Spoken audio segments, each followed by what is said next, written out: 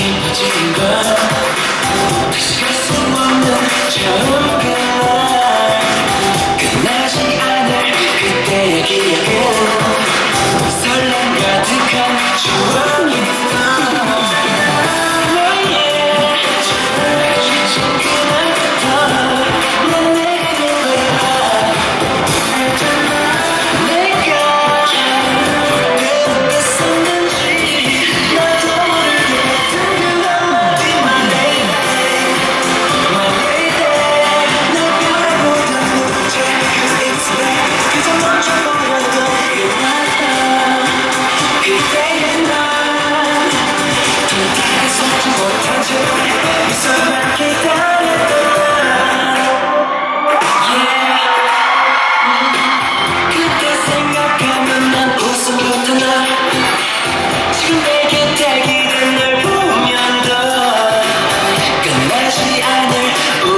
기억에도